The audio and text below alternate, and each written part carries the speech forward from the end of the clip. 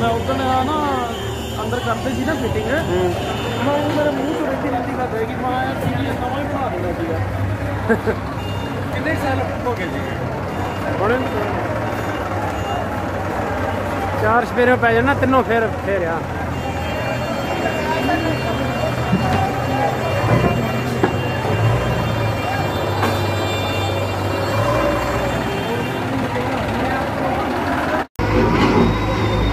Thank you.